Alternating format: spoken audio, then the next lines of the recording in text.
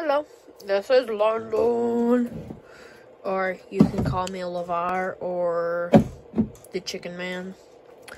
Um, doing set six three zero five seven two race car. 68 pieces, Rev 6 Plus, and it's a cool race car. I've already built one or two of these before, and yeah, I'll save my opinions about it for after the time lapse, which is starting now.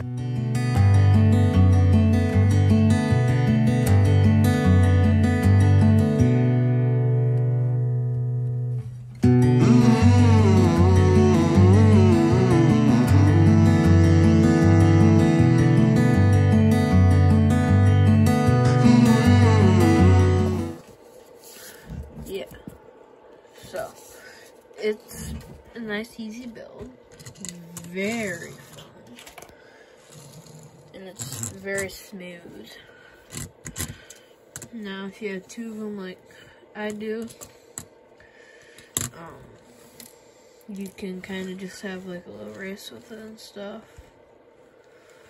And this would definitely be fun toy for now this doesn't come with two cars. The other car I went and grabbed because I had two of these sets, just so you know. So my, my mom called this kind of what I got cut off there.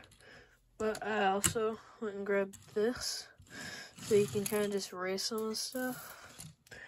And yeah, I definitely re recommend this to really anybody because these are friggin' awesome. And I actually really love them. And just like the uh, Iron Man sets, like all the other little poly bags, they're around $4, 4 or $5.